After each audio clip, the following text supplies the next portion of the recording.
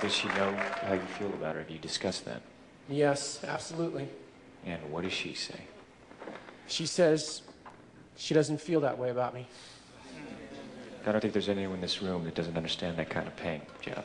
And I want to thank you for sharing that with us.